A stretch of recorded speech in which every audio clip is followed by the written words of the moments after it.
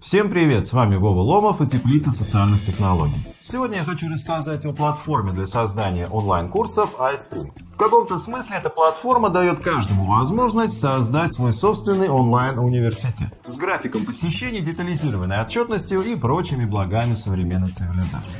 К сожалению, такие платформы редко бывают бесплатными, и iSpring не исключение. Поэтому нас в первую очередь, естественно, интересуют цены. Тут есть расценки на iSpring Suite, но это не совсем то. Это приложение для создания курсов на локальной машине. А нас интересует iSpring Online, то есть облако, где эти курсы хранятся и где, собственно, происходит работа со студентами. Сбор статистики и так далее. И вот тут цен уже нет. Но я связывался с поддержкой и выяснил, что стоимость обучения одного слушателя составляет 97 рублей в месяц. Это на июль 18 соответственно. Ну а мы запускаем бесплатный 14-дневный аккаунт. Регистрация простая, зашли в почту, туда нам пришел логин-пароль, ввели, зашли. Дальше меня встречает вот такое окно, которое намекает, что не надо ничего делать, мы уже все сделали. Действительно, тут есть весьма подробная инструкция, видеоинструкции, ну и на канале YouTube у них много всего. Да и, собственно, сложно ожидать от платформы для онлайн-обучения, что они не сделают качественный онлайн-учебник по своей платформе. Поэтому я сейчас вкратце пробегусь по тому, что здесь можно делать, а все подробности вам расскажут уже они. Видеоинструкции. Точнее, она дама из видеоинструкций. Поэтому закрываем окно. Главная страница – это отчет о вашем аккаунте. Статистика, сколько у вас активных материалов, активных групп, непроверенных заданий. Ну, то есть это журнал, который, естественно, нужен в любом учебном процессе. Мы, как всегда, зайдем с конца, то есть пойдем в настройки. Настройки достаточно простые и интуитивно понятно, что за что отвечает, опять же, плюс разработчикам. Но при этом в принципе, тут достаточно много всего. Вот, например, можно включить продажу материалов, то есть продавать учебные материалы прямо в системе. И неплохо, возможно, на этом заработать. А вот в подписке мы узнаем, что у нас на триале лимит в 10 активных пользователей. Я говорил, что за пользователей придется платить. iSpring предлагает минимальный пакет в 50 активных пользователей в месяц. Если хотите обучать больше, вы можете расширить пакет до нужного количества в любое время. Собственно, к пользователям мы и переходим. Пользователей можно приглашать списком или по адресам email через запятую. Им придет приглашение на email с логином, паролем. В реальном аккаунте эта функция, похоже, отключена. Нас просят связаться с техподдержкой. Ну ладно. В конце концов, у нас обзорный скринкаст, и нам это не помешает. И мы переходим к главному, собственно, учебному процессу. Учебный процесс, в котором может быть несколько программ обучения, строится на основе учебных материалов, что естественно. Учебные материалы можно создавать самостоятельно с помощью любых редакторов курсов, а можно использовать iSpring Think Suite. Вот пример роскошного совершенно диалогового тренажера в автосалоне.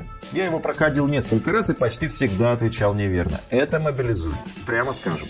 Соответственно, учебные материалы вы загружаете в раздел учебных материалов. Тут есть, например, пакеты SCORM. Спецификация для систем дистанционного обучения. А есть что-то попроще. Давайте я загружу, у меня есть презентация в PDF с недавнего мастер-класса. Заголовок можно не менять, если он подходит. Для поиска можно добавить теги. И еще добавить описание. Описание будут видеть ученики. И все. Теперь мы создаем, собственно, программу обучения, которая имеет название можно добавить описание или, скажем, продолжительность программы. И, естественно, любая программа имеет структуру. Структура состоит из глав, а главы, соответственно, состоят из учебных материалов, которые вы добавили. И вот это уже оно – обучение. Вы добавляете материалы в главу в той последовательности, в которой ее должны проходить обучающиеся, включая тесты, задания и так далее. То есть то, что подтверждает, что материал усвоен. Ставите, например, здесь в настройках, что порядок прохождения строго последовательный. То есть пока студент не завершит задание или не выполнит тест, он не перейдет к следующему заданию. И следите за тем, как ваши ученики пробираются по образовательной лестнице. Следить вы можете либо здесь в отчетах по программе программе обучения, либо на закладке отчета, где собрано вообще все. Как проходит процесс, где спотыкаются студенты и так далее. Ну, то есть вполне себе университет 2.0. Кроме того, здесь есть еще календарь, где вы можете создавать мероприятия, приглашать на него участников или целые группы участников.